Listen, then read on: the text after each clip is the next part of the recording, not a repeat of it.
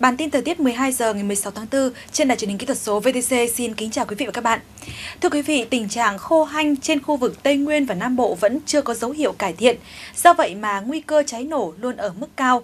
Vào khoảng 15 giờ 30 phút chiều qua, một vụ hỏa hoạn đã xảy ra tại khu dân cư trên đường Bến Vân Đồn thuộc quận 4 thành phố Hồ Chí Minh. Tiếp đó vào khoảng 16 giờ 30 phút tiếp tục xảy ra một vụ cháy nữa tại khu chế xuất Tân Thuận cũng ở tại thành phố Hồ Chí Minh. Vì điều kiện thời tiết khô nóng nên phải mất khá nhiều thời gian, lực lượng phòng cháy chữa cháy mới khống chế được ngọn lửa. Trong khoảng thời gian này, người dân tại các tỉnh thành phía Nam cần phải nâng cao cảnh giác hơn nữa với cháy nổ, bởi lẽ nắng nóng tại đây chưa có dấu hiệu hạ nhiệt. Nắng xuất hiện từ sớm và kéo dài đến chiều muộn trong ngày. Nhiệt độ cao nhất ban trưa có thể lên tới mức từ 31 cho đến 34 độ tại Tây Nguyên và từ 32 đến 35 độ tại Nam Bộ. Tại khu vực miền Trung trong đêm nay và ngày mai, tình trạng ít mưa ngày nắng vẫn tiếp tục diễn ra. Nhiệt độ ban trưa dao động trong khoảng là từ 33 đến 36 độ tại khu vực từ Thanh Hóa trở vào đến Thừa Thiên Huế và từ 31 đến 34 độ ở tại khu vực từ Đà Nẵng trở vào cho đến Bình Thuận. Đến ngày 18, ngày 19 cùng với sự mở rộng của vùng áp thấp nóng ở bên khu vực phía Tây và kết hợp với địa hình của dãy Trường Sơn trên khu vực này tạo ra hiệu ứng phơn, làm nền nhiệt độ tại đây tăng nhanh, nắng nóng có khả năng lan rộng ra toàn bộ khu vực Bắc và khu vực Trung Trung Bộ với mức nhiệt độ cao nhất trong ngày khoảng từ 35 đến 38 độ. Còn các tỉnh ở tại khu vực từ Đà Nẵng trở vào cho đến Bình Thuận, nhiệt độ phổ biến là từ 33 đến 36 độ.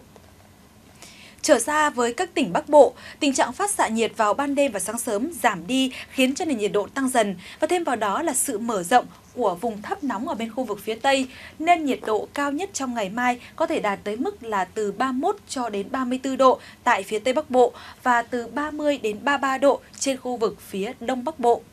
Sang ngày 18, ngày 19, nắng nóng sẽ xuất hiện tại một số nơi ở các tỉnh như là ở tại Hà Giang, Cao Bằng, Bắc Cạn hay thậm chí cả khu vực Đồng bằng Bắc Bộ. Nhiệt độ cao nhất ban trưa có thể tăng lên mức là từ 34 đến 37 độ ở tại khu vực Tây Bắc Bộ, còn ở tại khu vực phía Đông Bắc Bộ nhiệt độ thấp hơn khoảng 1 độ. Phần tiếp theo xin mời quý vị và các bạn đến với những dự báo chi tiết trong 3 ngày tới cho các khu vực trên cả nước.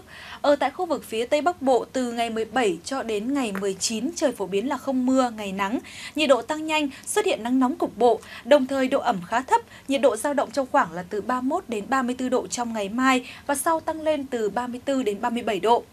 Phía Đông Bắc Bộ 3 ngày tới mây thay đổi phổ biến là không mưa, ngày nắng, nhiệt độ có xu hướng là tăng dần.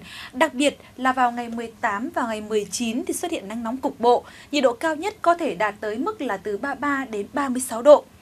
Các tỉnh từ Thanh Hóa đến Thừa Thiên Huế, ngày 17 thì phổ biến là không mưa, ngày nắng, nên nhiệt độ tăng dần, dao động trong khoảng từ 33 đến 36 độ. Còn sang tới ngày 18 và ngày 19 thì nắng nóng gia tăng về cường độ và lan rộng ở trên khu vực. Nhiệt độ tăng lên ngưỡng là từ 35 đến 38 độ.